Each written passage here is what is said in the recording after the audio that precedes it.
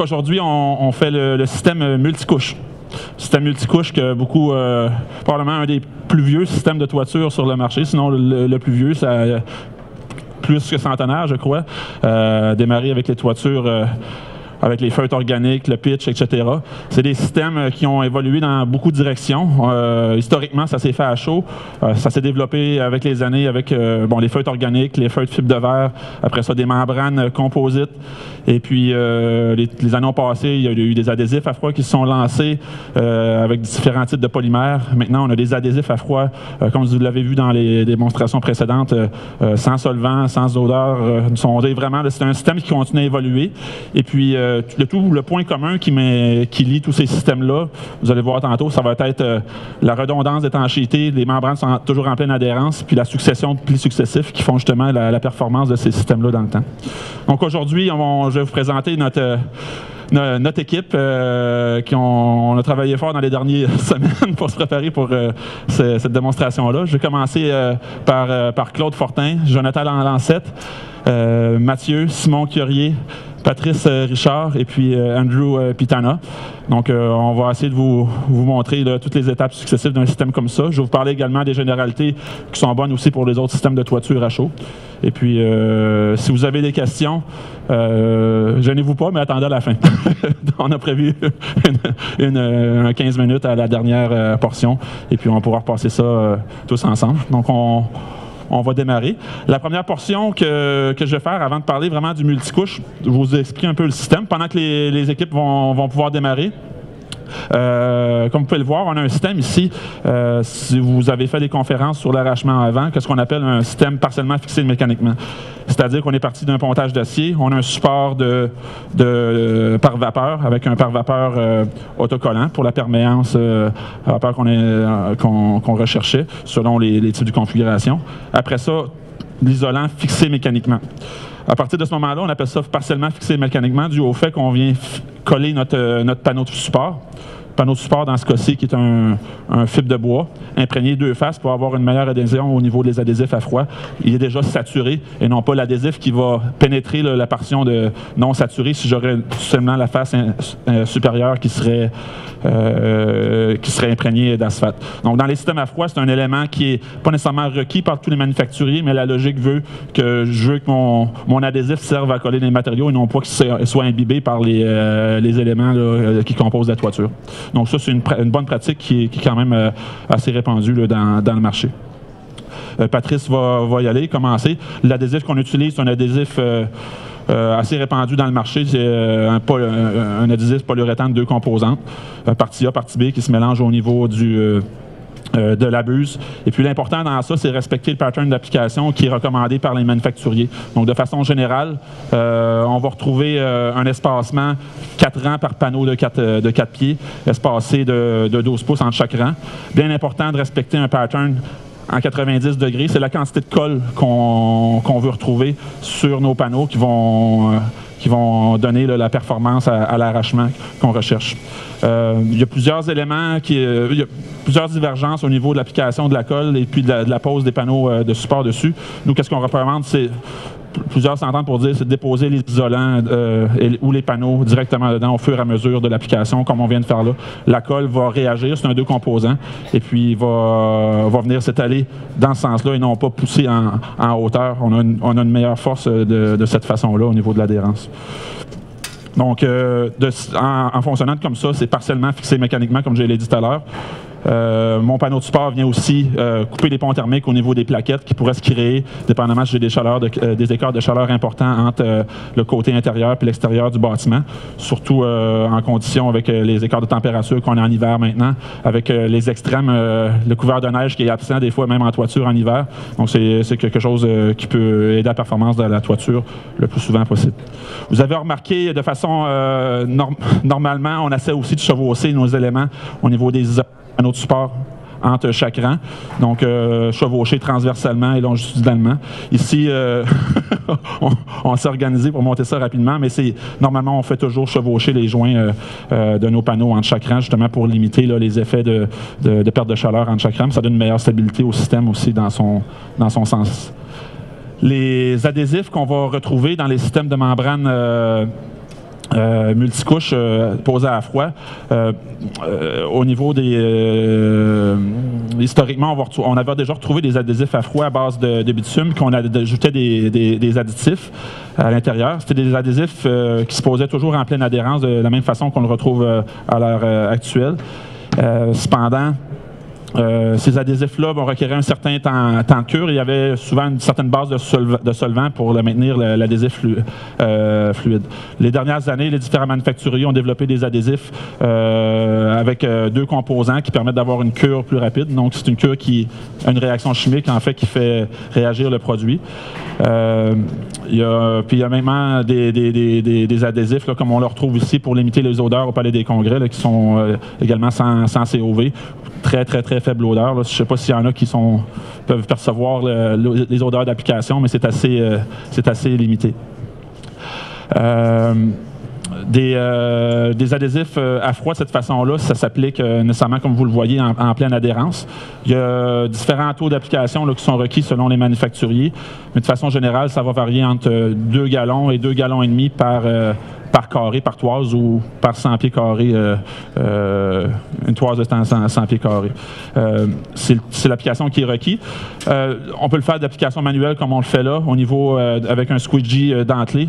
Le, squeegee dentelé permet, avec des dents 3-8 permet d'avoir une bonne application uniforme sur le produit. Qu'est-ce qu'on recherche? C'est vraiment la pleine adhérence, l'application du produit sur toute la surface. Et puis, euh, on s'assure après ça qu'on déroule nos, membranes. On, aligne nos rouleaux au départ comme les, équipes l'ont fait ici, euh, à sec. L'appliquer à sec permet de justement travailler de façon plus propre. Et après ça, bon, on, euh, redéroule l'adhésif entre chacun des plis. Qu'est-ce qu'on va rechercher? C'est de s'assurer la pleine adhérence, un débordement au niveau également de nos, de nos plis multiples. Et puis après ça, on repart toujours de, de façon croisée sur les joints successifs quand on travaille plusieurs plis ensemble euh, dans les systèmes multicouches, il y a différentes façons qui ont été euh, utilisées au fil des années. Euh, la façon qu'on dit en, étage ou en, en, shingle fashion dans les multicouches, c'est-à-dire qu'on va partir un pli successif, puis on va avoir cinq rouleaux qu'on va mener de front. On utilise souvent, les, gens se demandent à quoi servent les lignes sur les rouleaux. C'est les, euh, euh, lignes d'enlignement pour euh, le nombre de plis qu'on va utiliser. Donc j'ai un pli, deux plis, trois plis, etc. Fait qu'on va partir plusieurs rouleaux successifs comme ça. Ça, c'est le, système en, étage, je peux dire. Fait que je pars mes rouleaux un derrière l'autre, puis on va à l'asphalte ou à l'adhésif de cette façon-là. En système multicouche euh, à froid, qu'est-ce qu'on retrouve aussi beaucoup au niveau des deux plis et des trois plis? C'est des 1 euh, plus 1 ou des 1 plus 1 plus 1. C'est-à-dire qu'on va faire un premier pli sur toute la surface de la toiture, partir du point bas, aller vers le point haut. Une fois que le premier pli est complété, après ça, on part sur le deuxième pli encore au point bas, mais je vais partir au centre du premier, euh, du premier rouleau. Puis là, j'y vais, vais en étage comme ça. Donc, j'ai déjà mon étanchéité temporaire, euh, si je peux dire, au niveau du premier pli de l'exécution. Le second pourrait être complété dans une journée euh, subséquente, si je voudrais. J'aurais un qu'à, par exemple, faire un étanchéité temporaire au niveau de mes drains si, le projet s'étire sur plusieurs journées. Pardon. Et, on voit ici euh, au niveau euh, de l'application de l'adhésif, euh, mes collègues vont commencer justement à terminer le deuxième rouleau. Un élément important pour s'assurer de la pleine adhérence, c'est de limiter la, présence de, poches d'air au niveau de la membrane, pour s'assurer que l'adhésif est toujours très, très bien placé. Je pense, Mathieu, est-ce que tu n'as rien fait encore au niveau du rouleau? Je vais laisser Mathieu performer le premier rouleau. Qu'est-ce qu'on appelle cette façon-là de travailler? On va maroufler la membrane pour s'assurer. Commence au premier pli, s'il vous plaît, euh, au parapet, s'il vous plaît, Mathieu. On va, on va faire un premier pli. On va vous montrer euh, justement la différence de faire cette opération-là euh, versus euh, pas la faire.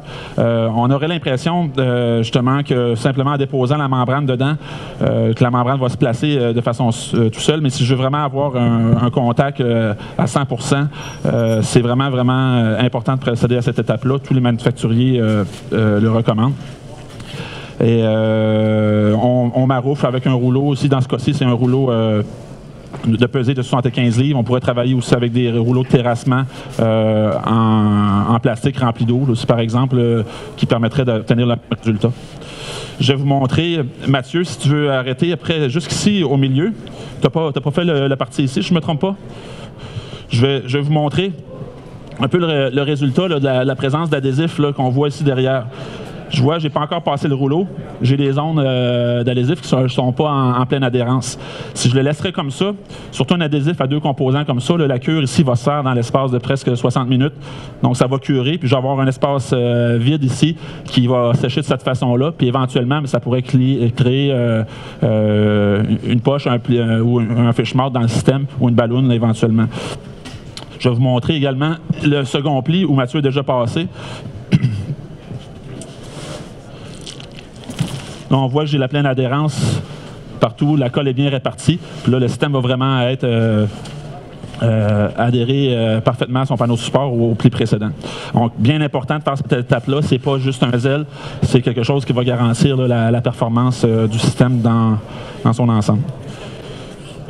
Donc, je parlais de, de type d'adhésif tout à l'heure. Dans le, dans le cas qui nous concerne, l'adhésif est utilisé, on va parler d'une cure d'environ euh, une soixantaine de minutes. Sinon, dans des adhésifs à froid plus standards, ça peut aller euh, dans une période de 28 à 30 jours avant qu'on puisse dire, compléter le système, puis le système va obtenir ses performances au soulèvement par le vent de façon optimale.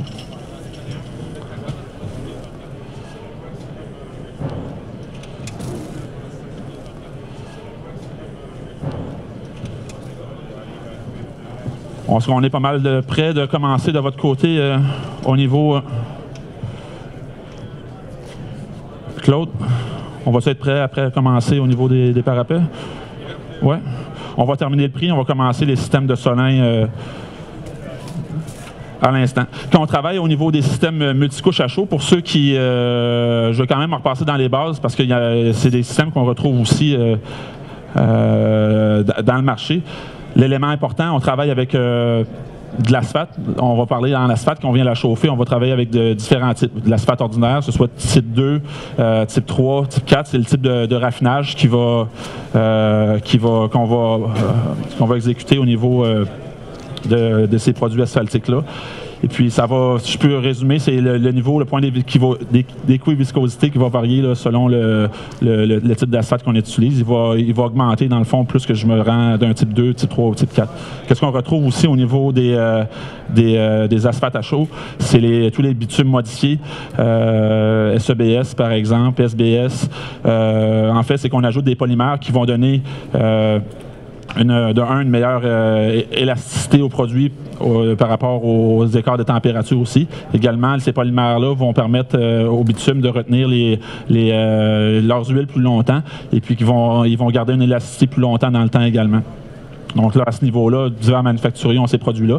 Donc au niveau des systèmes multicouches, on retrouve un peu tout dans le marché. Je peux dire de, l'entrée de dame avec de l'asphalte euh, classique type 3 ou des systèmes plus haut de gamme qui font intégrer euh, des bitumes modifiés. Puis on a même des systèmes hybrides où on va retrouver les prilis des, euh, membranes ou les feutres collés avec un asphalte type 3. Puis on va avoir l'enduit de surfaçage pour le gravier avec un, la surface exposée aux éléments avec un bitume, avec un bitume modifié. Au niveau, on a presque terminé notre notre euh, deuxième pli de membrane. Dans ce cas-ci, on va, on va se limiter à, deux plis. On va commencer nos, nos, systèmes, euh, nos systèmes de solin. Euh, c'est deux types de solinage qu'on va exécuter à froid. Donc, du côté droit, comme on est dans un salon où on voulait vous présenter aussi les nouvelles technologies, il y a de plus en plus de produits de, de, flashing ou d'exécution de, solinage à fois qui existe sur le marché. On parle de, plus en plus de, membranes liquides. C'est quelque chose qu'on euh, qu'on fait. Presque tous les manufacturiers de, de, toiture au Québec présentent des éléments de cette façon-là dans le marché. C'est quelque chose qui est en train de se bâtir au niveau de l'exécution et des normes. C'est un moyen aussi de faire des pénétrations. On le fait surtout euh, euh, pour sortir des des, nouveaux équipements ou faire des réparations. Tranquillement, on va développer des procédés qui vont nous permettre d'appliquer ces systèmes-là de façon un peu plus conventionnelle dans les projets de réfection neuve. Donc aujourd'hui, on va vous montrer un peu les bases de ces systèmes-là, qu'est-ce que ça introduit, euh, les types de membranes liquides qu'on peut retrouver sur le marché également. que je vais laisser les gens terminer ici. Sinon, de l'autre côté, on va avoir un autre type de solinage avec l'équipe à Patrice qu'on retrouve de façon un peu plus fréquente au niveau des des, euh, des solins. C'est euh, des solins euh, d'un pli adhérés en pleine adhérence avec un, mastic à base élastomérique à base de polyuréthane. donc le, pli, la membrane de solin, c'est un pli qu'on va poser dans le sens longitudinal. C'est-à-dire qu'on va l'appliquer en section de 20 pieds, 30 pieds, selon les complexités du, projet qu'on a appliqué. Et puis la membrane en fait de solinage, c'est une membrane SBR, un peu comme un EPDM, dans lequel il est incorporer une armature de fibre de verre pour donner euh, sa stabilité dimensionnelle. Donc, euh, ce type de membrane-là, on va l'appliquer dans un adhésif, euh, encore là à pleine adhérence, un adhésif de polyuréthane. Toujours sans solvant parce que c'est une membrane qui ne permettrait pas au solvant de s'évaporer. Ça serait un adhésif avec solvant, la membrane de, sol, solin, le solvant, euh, en s'évaporant pourrait créer des, euh, ballons, si je peux dire, des bulles d'air. Et puis, euh, nécessairement, ça, ça, limiterait la performance de notre système de solinage. Donc, qu'est-ce qu'on va rechercher dans, ces éléments-là? C'est aussi simple, on va déposer notre, notre mastic tout au long du parapet. On va le tirer un peu comme on le fait à la manière de, de, de colle à céramique avec une truelle d'entrée avec des dents, des dents 1,8 va donner le taux d'application qu'on va rechercher sur, euh, sur toute la surface. Encore là, on, va, on va appliquer ça de façon euh, uniforme euh, sur, tout le, sur tout le parapet. Je vais porter votre attention au niveau du, du solin ici dans le système multicouche. Euh, au niveau des systèmes multicouches, historiquement, on a appliqué beaucoup euh, de, de, pointes de triangle dans les coins. S'il y en a qui ne connaissent pas, ça s'appelle des, euh, ça des fans. C'est toujours appliqué dans les systèmes de solinage multicouches parce que ça permettait de déposer nos membranes de solin, soit les feutres organiques ou ou, euh, ou, autre, ou autre composite directement dans le sens de la longueur, appliqué en cassant notre angle de 90 en deux angles de 45. Fait que ça permet de répartir la charge de traction, la toiture qui va toujours à la traction en coupant notre, notre force en deux, en deux angles de 45 degrés. Ça permet également de s'assurer que notre membrane de solin est complètement épousée au niveau de, la base des, parapets. Euh, dans un 90 degrés, de plier la membrane euh, de façon euh, uniforme, s'assurer qu'elle vienne vraiment s'épouser dans le fond du, 90 degrés. c'est assez difficile la façon dont c'est exécuté de cette manière-là. Fait que de répartir aussi le travail en deux angles de 45 permet ce contact-là en pleine adhérence au niveau de, ma, de ma membrane de solin. Donc, euh, dans, le passé, qu'est-ce qu'on retrouvait beaucoup? C'est Solin, on va retrouver deux, deux plis ou trois plis de feutres de fibre de, de, euh, de fibre organique du 15 livres, encore une fois, appliqué à l'asphalte. Donc, on mopait au fur et à mesure euh, les, plis de feutre organique. Et puis, on a appliqué un deuxième pli au, fur et à mesure que ceux-ci étaient, saturés. Donc, on venait créer en tant que tel une nouvelle membrane directement à la base des, parapets de manière monolithique, si je peux dire, sans joint aussi longtemps, dans le fond, que je continuais mon parapet ou faisais mes détails. Euh, euh, mes détails de boîte. Les, systèmes ont évolué avec les années pour remplacer les feutres organiques. Euh, certaines compagnies vont utiliser encore là des feutres polyester ou encore des, membranes composites pour nos membranes de solin divers systèmes sont valables aussi. Encore là, c'est selon les, ce qui est requis au niveau des différents manufacturiers. Dans ce cas, dans ce cas-ci ici, qu'est-ce qu'on retrouve là, dans la membrane SDR? On a vu le SDR, c'est la membrane en pleine adhérence dans notre adhésif. Une fois qu'il est réparti, on va venir la sécuriser sur la partie courante avec euh, le même type de mastic qu'on va utiliser encore là un, armature de renfort, un armature de renfort de, fibre de verre aussi pour sa stabilité dimensionnelle qui va permettre de sécuriser la base de, euh, la membrane euh, de Solin. Membrane de Solin, on va rechercher un chevauchement d'un minimum de, de 6 pouces à partir de la base du parapet sur la partie courante. C'est ce qu'on retrouve ici? Puis j'y intègre un armature de renfort à, la base de ce niveau-là. Même principe au niveau de mes joints euh, verticaux. Si euh, j'aurais pu continuer ma membrane euh, toute la longueur du parapet, dans notre cas ici, on va se limiter pour la démonstration à faire un 5 pieds par 5 pieds environ. Mais à chaque fois j'ai des chevauchements de joints de membrane, que ce soit au 10 pieds, 15 pieds ou aussi au 5 pieds, je viens les sécuriser avec un armature de renfort et puis le, mastic. Donc on, procède de cette façon-là au, fur et à mesure qu'on applique, qu'on applique nos solins. C'est qu'en fait, les membranes liquides, c'est un peu comme on revient aux bases d'un système de membrane euh, bitume modifié, c'est-à-dire qu'on va intégrer des, euh, un, produit liquide, élastomérique, d'étanchéité, dans, dans, lequel on va y intégrer une armature euh, soit de fibre de verre ou soit de polyester. Au lieu de prendre ces éléments-là, les construire en usine prélaminée, dans, quand les détails sont, sont, plus complexes, je dirais, que ce soit autour de, de boîtes complexes, des fois on va avoir des pénétrations de formes un petit peu diverses ou quelconques, on va bâtir la membrane avec des éléments liquides euh, à froid. on va toujours retrouver une base élastomérique, une armature, euh, une armature de renfort, et puis et puis une couche de protection, dans ce cas-ci, qui va être une, couche, une couche de finition qui va protéger des rayons du soleil UV. Après ça, les couleurs vont varier selon les manufacturiers, mais la recette, je vais résumer encore, couche de base, armature, puis couche de finition pour la protection UV. Ça, je dirais, c'est euh, commun à tous les manufacturiers.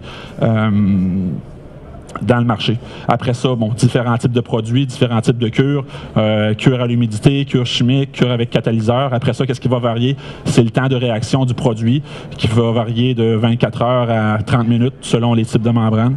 Et puis la température d'application également qui va, dans certaines conditions d'été ou certaines conditions plus froides par exemple, que certains produits vont mieux performer.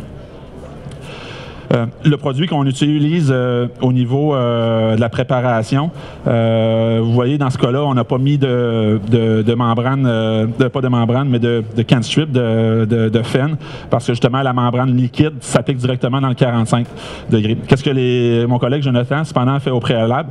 Au lieu de travailler avec un mastic à base de, bitume ou ciment plastique, là, si je peux le de façon générale, vu qu'on est avec une membrane liquide, dans notre cas à base de polyuréthane, j'utilise un mastic à base de, polyuréthane qui est compatible avec lui. c'est la, seule logique à utiliser. Si j'aurais une membrane liquide à base de silicone, par exemple, mais j'utiliserais un scellant ou un mastic à base de silicone pour qu'il soit compatible. c'est juste de garder ces éléments-là en tête pour euh, permettre de faire, euh, faire l'armature. Euh, l'élément aussi que, euh, à, pointer euh, que je vais retrouver ici, c'est si les gens, vous êtes familiers avec l'exécution des systèmes Monopoly ou des systèmes bicouche élastomère, l'application des goussets au niveau des, armatures, au niveau des, transitions, des relevés puis des changements de direction. On vient remarquer ici au niveau du, coin intérieur, si je viendrais appliquer ma membrane de, parapet, ma membrane de renfort, je vais voir tout à l'heure, j'aurais de la difficulté à venir chercher mon, mon 90 degrés. J'intègre ma membrane euh, de renfort. Ici, c'est un polyester pour donner de la force tensile au système, justement. Un système de toiture avec les écarts de température vient toujours travailler en traction. Euh, l'équipe euh, de, mes, de mes collègues ici, Patrice et Simon. On va pouvoir commencer l'application l'application du, du, drain. On est presque presque rendu. Je vais rappeler votre attention avant d'aller plus loin au niveau de l'application de, l'étanchéité du drain. On vient, quand on vient sécuriser avec mon armature de renfort, euh, on y va selon de façon générale, euh, selon la manière trois étapes. C'est-à-dire que j'applique un mastic, mon armature de renfort et puis une seconde couche de mastic. L'idée, c'est de saturer complètement euh, cette armature-là, qu'elle ne soit pas exposée. Et puis, je viens créer, une fois curé, moi, je vais recréer, dans le fond, le même type de membrane que je vais avoir utilisé au départ ici, mais de façon, de façon manuelle dans une condition de chantier, j'aurais différentes façons de venir euh, terminer mon, euh, mon solinage euh, à ce niveau-là. Cette membrane-là, au niveau, en ce qui la concerne, c'est un, une membrane SBR vulcanisée, donc elle résisterait aux éléments du UV. Mais au niveau esthétique, ce qu'on retrouve aussi, c'est de le recouvrir avec un, un, contre-solin puis un solin métallique au niveau du parapet. Qu'est-ce qu'on viendrait utiliser également en condition chantier pour avoir une condition d'étanchéité au niveau de, de, ma façade de parapet ou si j'ai un solin intramural, on va utiliser des membranes euh, paraires, différents types, là, membranes paraires SBS, membranes à base du butyl ou autre, euh, pour euh, s'assurer d'une continuité d'étanchéité. Je vais venir utiliser ça en termes comme une membrane de couronnement qui va partir de la façade. Se rabattre ici sur, sur ma façade, sur mon intérieur de parapet faire attention quand je me retrouve au niveau des, euh, des intramurales, les bonnes pratiques, s'assurer que j'ai ma tablette, si je peux dire, au niveau de l'intramural du, du, Z-bar, toujours avoir une inclinaison vers l'intérieur du bassin. Si jamais il y aurait de l'infiltration qui se créerait au niveau euh, du mur, euh, qui coulerait derrière, soit sous mon revêtement intérieur, mon, mon, revêtement de maçonnerie ou autre, derrière mon, sur mon mur, que, qui puisse s'évacuer par, vers l'intérieur de la toiture et non pas revenir vers l'intérieur du système. Fait qu'un petit détail à faire attention, on toujours s'assurer d'une inclinaison 2% vers l'intérieur des bassins un élément de préparation qui a déjà été fait au niveau de, mon drain. Si on a un drain en, cuivre, il a été euh, sablé pour enlever l'élément euh, graisseux ou euh, qui est suite à sa fabrication, sablé pour donner plus d'adhérence et puis primé au préalable. Euh, c'est une bonne pratique qui va permettre justement au mastic de bien vraiment s'adhérer sur l'assiette euh, l'assiette de drain. Qu'est-ce qu'on retrouve principalement dans le marché euh, à l'heure actuelle, que ce soit drain cuivre de ce type-là ou drain en, stainless, c'est des éléments qu'on va retrouver de façon, des éléments qu'on va retrouver de manière assez fréquente dans le marché. Donc ici, on va, on va faire l'étanchéité de notre drain par-dessus les deux plis, ou si on aurait eu un trois plis, on l'aurait fait par-dessus les trois plis. En fait, on ne vient pas euh, s'appuyer directement euh, sur le, panneau de sport, le drain est positionné à la toute fin. Donc, le drain, l'assiette de drain est assis dans un lit de mastic. Euh, encore là, toujours un mastic, euh, dans ce cas-ci, sans solvant, pour que justement euh, le solvant ne gaze pas, puis qu'ils peuvent créer des, des, des, bulles d'air qui pourraient éventuellement créer des défaillances au niveau de l'étanchéité. Donc, on va positionner notre assiette de drain dans, dans ce mastic-là, qu'on va appliquer généreusement sur toute la surface inférieure de l'assiette. Une fois cette étape-là est complété. Bon, je viens assir, euh, je viens euh, mon drain euh, directement sur le, dernier pli d'étanchéité. Et puis, je viens simplement l'assir dans, dans le massif de cette façon-là. Quand j'ai un, certains vont venir l'ancrer avec des ancrages mécaniques dans mon pontage. Je serais super un pontage de béton, par exemple, avec un, un système d'isolant assez épais c'est pas c'est pas un élément qui est requis par tous les manufacturiers également à ce niveau-là de venir assir, euh, de venir fixer mécaniquement mon assiette de drain. Certains vont, travailler avec euh, un système qui est de, cette façon-là. Au niveau de, pour venir sécuriser euh, mon assiette de drain, pour venir combler le joint inverse que j'aurais normalement au niveau de, de ma flaine, je vais venir mettre un, pli dans le fond de membrane du même type d'étanchéité que je vais utiliser sur la partie courante. Dans ce cas-ci, c'est une membrane sablée avec armature composite, fibre de verre polyester. Euh, c'est des membranes qui sont euh, développées euh, essentiellement pour travailler de manière à froid. Dans les systèmes à froid, qu'est-ce qu'on retrouve? euh, le plus haut niveau de ces membranes-là, on va utiliser des armatures euh, fibres de verre. C'est des membranes qui vont déstresser euh, plus facilement avant l'exécution. Quand j'ai des membranes de type polyester tissé, par exemple, un 180 grammes ou un 250 grammes, ces membranes-là vont garder une mémoire plus importante. C'est-à-dire que quand le rouleau sort de, l'usine, il a reroulé, il est chaud, il va garder, il va vouloir garder la forme qu'il avait initialement dans le rouleau. On va vouloir, il va vouloir, la membrane va toujours vouloir retrousser de façon, de cette manière-là ici. Euh, quand j'ai des systèmes à chaud ou soudés, par exemple, euh, c'est un élément qui n'est pas nécessairement grave. Euh, la, chaleur va faire justement déstresser la membrane au fur et à mesure que je l'applique. Quand j'y vais à froid, si je ne viendrais pas faire déstresser mes membranes au préalable, justement, les, bouts de membrane, un peu comme on le voit là, nous on le fait ce matin, c'est pas très chaud à l'intérieur, vont toujours avoir tendance à retrousser. Donc c'est important qu'on travaille les faire déstresser au soleil un minimum de 30, minutes, 30 à 40 minutes au préalable. Ça donne une application euh, qui est, plus facile. L'armature fibre de verre va permettre euh, justement aux membranes de relaxer de façon plus facile pour pouvoir prendre leur place. Euh, qu'est-ce que mes collègues ont, fait à ce niveau aussi? On a appliqué le mastic encore là généreusement sur toute la surface. Ils ont marqué au préalable la grandeur euh, au couteau, la grandeur de la zone euh, appliquée euh, au niveau de la membrane sablée. Après ça, ils vont venir la positionner sur toute la surface. On va se garder au niveau. ici, j'avais un drain simple sans, sans ancrage à crépine. mais si j'en aurais eu, j'aurais limité mon, adhésif à la base des, ancrages de, la crépine. Dans ce cas-ci, je vais me garder environ une lèvre d'environ un pouce autour du trou du drain. Au niveau je vais revenir un petit peu en arrière, un élément que j'ai oublié, mais qui a été exécuté euh, cependant par mes collègues. Euh, au niveau de, la membrane de solin, un peu le même principe que l'exécution que j'avais utilisée pour euh, la partie courante dans l'adhésif à froid. mes collègues ont, pris le soin de bien maroufler la membrane avec un outil de ce type-là, un maroufleur, pour venir justement s'assurer que ma membrane de solin est en pleine adhérence avec l'adhésif, que j'ai pas de plissement ou de poche d'air au niveau de au niveau de la membrane de Solin avant que l'adhésif cure.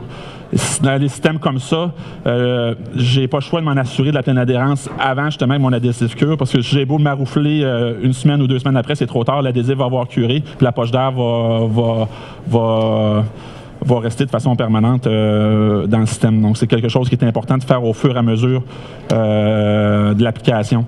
Et puis, euh, bon, certains vont se dire, on va aller voir maroufler avec les mains, mais ça donne jamais le résultat. Une vraiment une bonne pratique, c'est toujours prendre un maroufleur, y aller de façon intégrale, de haut vers, du haut vers le bas, faire sortir toutes les poches d'air, avant de venir sécuriser notre membrane sur la partie sur la partie courante.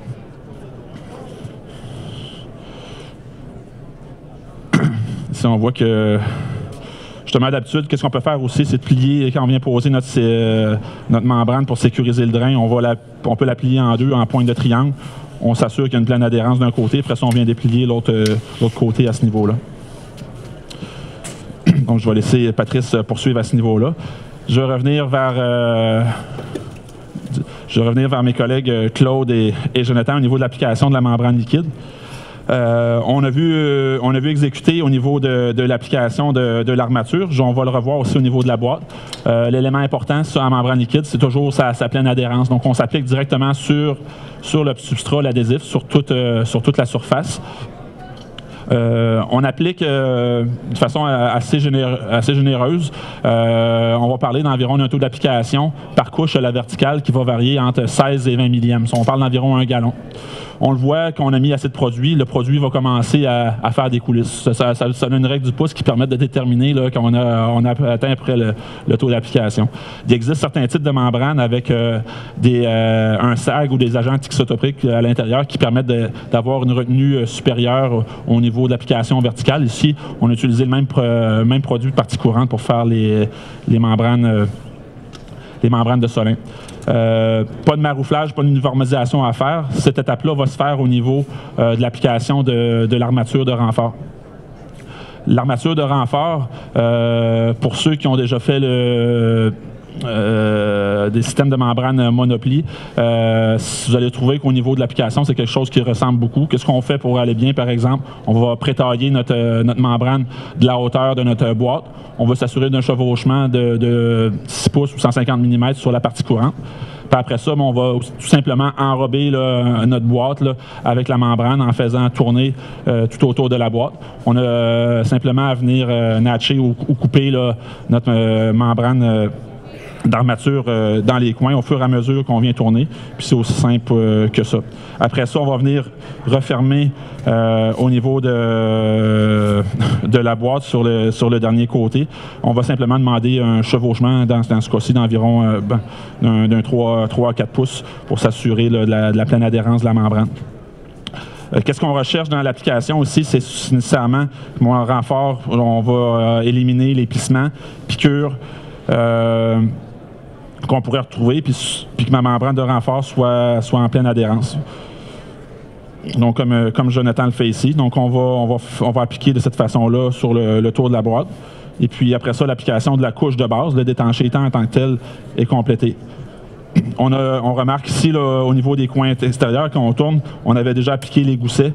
Donc, euh, mon gousset venait se positionner ici de chaque côté. Fait justement, j'ai une armature de renfort qui est positionnée sur toute euh, la surface déjà au préalable donc qui vient couvrir la partie, le, carré qu'on vient d'ouvrir à ce niveau-ci.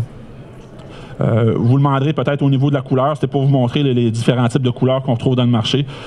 certains manufacturiers vont avoir euh, des, membranes grises, certains vont être brunes, certains vont être blanches. Euh, ça varie selon la forme. En fait, c'est de la pigmentation qu'on retrouve chez les différents manufacturiers. Une règle générale, cependant, c'est qu'on va avoir une couleur différente entre la couche de base puis la couche de finition. Euh, la seule raison pour ça, c'est justement qu'on puisse différencier les différentes couches. J'aurais la couche de base puis la couche de finition de la même couleur, mais des fois, en application chantier, ça devient difficile de savoir où j'ai déjà passé. C'est un peu le même principe que de l'après au niveau de la peinture. Euh, c'est qu'est-ce qui distingue euh, ces éléments-là. Euh, en couche de finition, la couleur qu'on trouve le plus, cependant, euh, pour des raisons euh, de répondre aux, besoins du marché, au niveau de l'efficacité énergétique puis de la, réflectivité, c'est la, couleur blanche.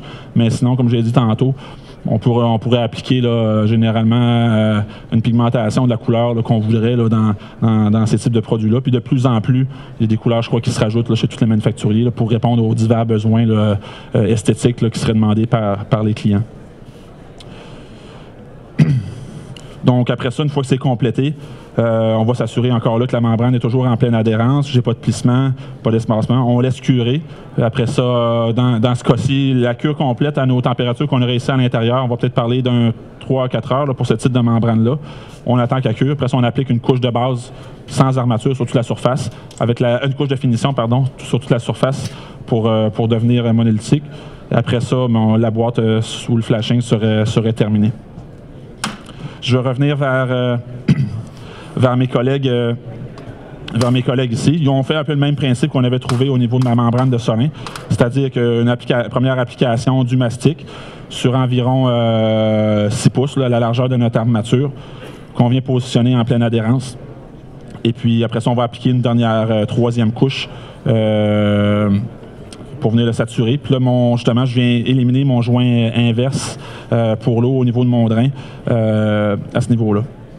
Euh, de présence euh, la présence de mon drain. Qu'est-ce que je remarquerais? Une des bonnes pratiques qui aurait pu être faite pour la démonstration ici, c'est de créer une dépression euh, au centre de mon drain. Par exemple, si j'aurais un système de pente qui aurait été appliqué ou si j'aurais une pente dans la structure ou un entretoit ventilé, par exemple, j'aurais j'aurais voulu aller chercher, euh, euh, faire une somme au niveau de mon drain pour vraiment s'assurer de venir chercher l'eau intégralement.